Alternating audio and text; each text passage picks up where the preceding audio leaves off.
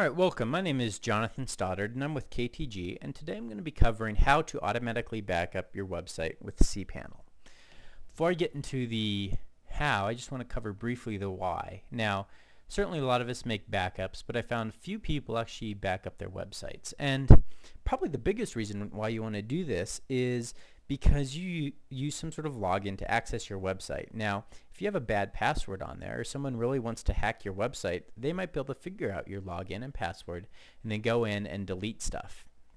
And now you've lost your site. Now, again, also, we're all human, so it might not be a hacker, but you might accidentally delete something. And with both those cases, if you don't have a backup, you don't have a way to restore your site, and that can be a huge blow to a small business if they lose their website. So to start off, you should be on this page on the KTG website, which is how to create automatic backups of your website. And the first step is to download this website underscore backup.php. And you want to use a text editor. I use TextWrangler, which is a app for the Mac. You can also use TextEdit, or if you're a Windows user, you can use Notepad. Uh, don't use Microsoft Word because that'll probably mess up the file. The next step is to edit the code, and what we have here is a, a file that might be a little daunting. Uh, it's computer code, and uh, if you follow my directions though, go step by step, I'm confident you'll be able to figure this out. So the first thing we need to do is put in your own information for CP user and CP pass. When you first signed up for web hosting, you were given a username and password to access something called the cPanel, which is used by a lot of web hosting companies. And it looks something like this, okay? Uh, you got all these options here.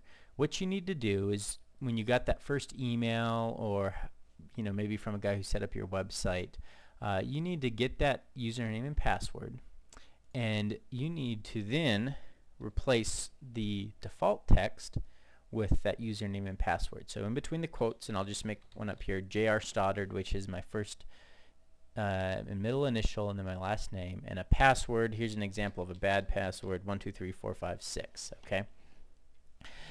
The next thing is put in your domain. So this is the domain of your website. Uh, no www, just the domain. So for me, it's ktgdenver.com, okay?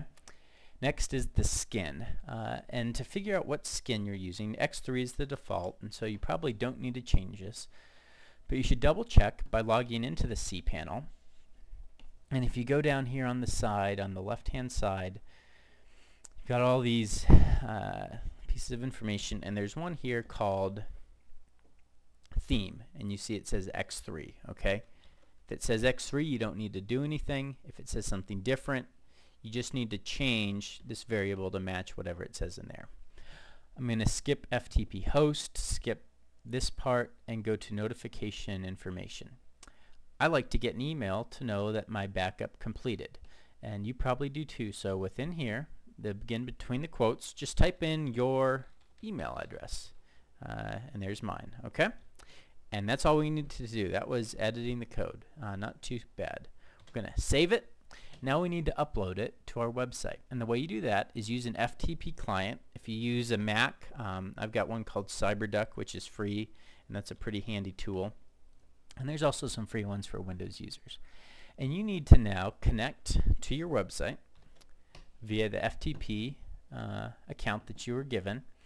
And start in this home directory, which is called slash. And you can see that I've created a directory called backups. And in there I put my uh, backup script is what we'll call it. Now website underscore backup.php. So you just need to upload it somewhere, either in that home directory or create a directory called backups and put it in there. Make sure you do not put it in www. Do not put it in public underscore HTML. Do not put it in public underscore FTP, okay? So now we've uploaded it and we're going to test the cron job. Okay, and cron is simply a utility for Linux that allows you to automate tasks. And I'm going to click up here in find cron and it'll automatically find it over here. Uh, if you don't see that find function, just search for it in the, the window and you'll find it. And we're going to click advanced Unix style cron job and it takes us to this. Now I already have the cron job in there but um, you'll need to put it in there. And, and so the first thing to do is the command part, okay, uh, which is this guy right here. And if you go back to the site, I've got the information right here under uh, number four, which is set up the cron job. Basically, just copy this, okay? We'll copy it, and then you want to paste it into this line right here. Now you're going to need to change a few things. Uh, if you notice I've got, it says uh, a bracket cPanel username, okay? That needs to match up with the information you put right here for CP user. So whatever that username is, you need to take that and replace the brackets and put it in there. So here you can see slash home slash ktgdsto9. That's my username.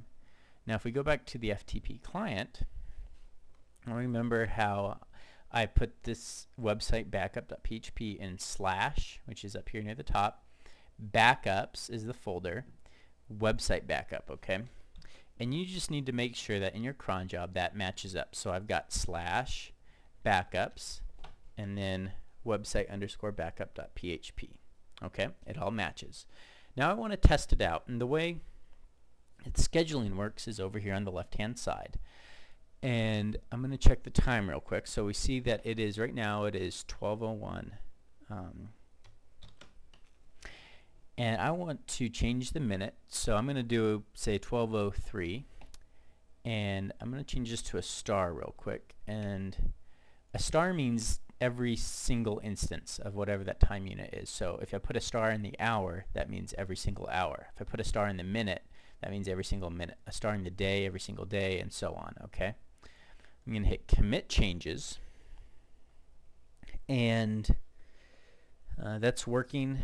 And basically that's telling the system alright every single uh, hour run this command. So it says cron updated. To click go back. Go back to the cron job just so I can see it and here we go. So on the third minute of every hour and every day of every month of every weekday this backup command is going to run. Alright, so now I'm waiting and I'm checking the time. It says 12.02, so I've got a little less than a minute. And what I should see happen is pop up in my email a uh, email saying that, hey, the backup ran, and we'll see if we got any errors or not. While that's going, I am pretty confident that I got all this correct. So I'm going to go ahead and schedule the cron job for a once a day backup, which is um, sufficient for most everyone. You want to schedule it for some time when your website's not used very often. So I'm just going to put a 2 in the hour block for basically on the third minute of the second hour of every day of every month of every weekday.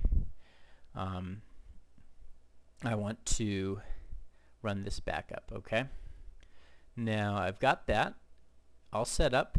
It looks good. I'm going to hit commit changes.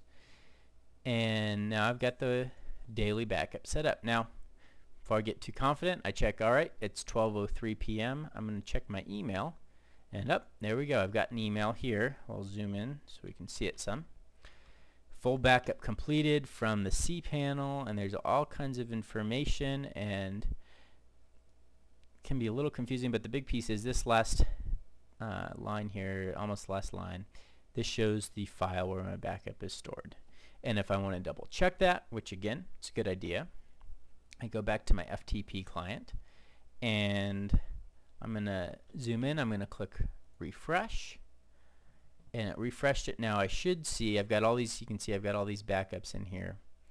Uh, I'm going to look for today's date. So 6, okay, here we go. I've got a couple today. So scroll down.